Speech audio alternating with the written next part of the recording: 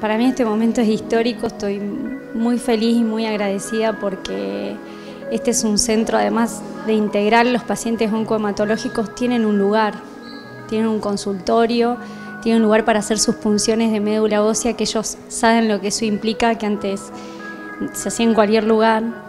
Y, realmente tener una sala de recuperación, tener un espacio propio es, es simplemente increíble.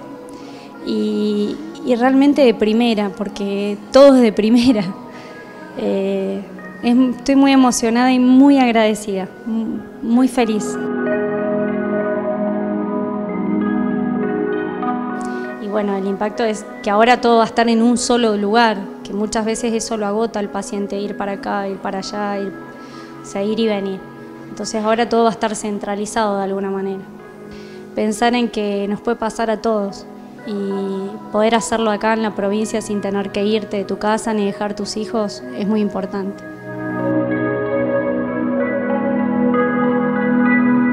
Eh, es muy duro dejar a toda la familia lejos, eh, por más que está la comunicación muy bien hoy en día que puedes mandar un mensaje y todo, pero no es lo mismo. El afecto de los padres o de los hermanos, de los tíos, de, de los mismos amigos es muy importante para luchar contra esta enfermedad, así que esto va a ser un golazo. Eh, tener todos los familiares acá cerca y, poder hacer el tratamiento acá cerca es lo mejor que puede haber. El miedo porque no sabíamos cómo eran eh, las quimios, eh, los rayos y venir acá es distinto porque parque, naturaleza, saca digamos lo del hospital que eso es como que te frena un poco y te da miedo.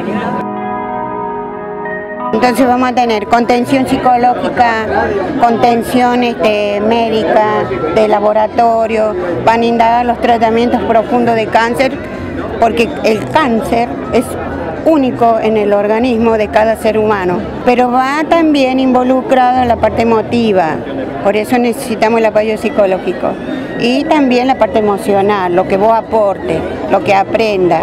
El cáncer es un aprendizaje del cual se lucha para salir adelante. Esto es una seguridad sobremanera para nuestra salud, el 100%. Nos evita muchas cosas de contratiempo, es decir, nos sentimos más protegidos. Nosotros sabemos lo que es esta enfermedad y este progreso a nosotros nos llena de orgullo.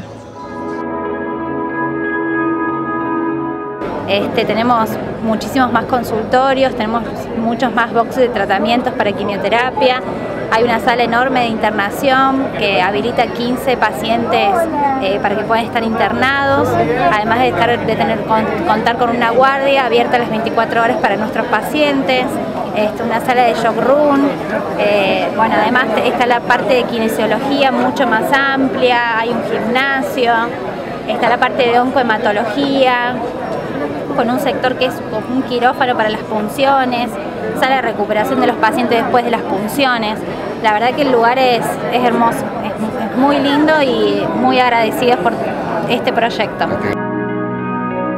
Cuando se, eh, se crea la Asociación Mujeres con Vida, Claudia Lucero, que era una compañera que falleció, ella nos incentivaba a, la, a, la, estética, o sea, que nos pintáramos, que no nos dejáramos estar, nos prestaba peluca, nos enseñaba cómo los teníamos que poner el pañuelo fue una gran persona, eh, Claudia Lucero.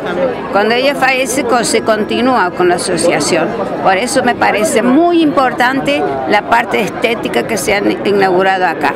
Y mi caso particular, yo estuve siete meses fuera de la provincia por mi tratamiento de cáncer.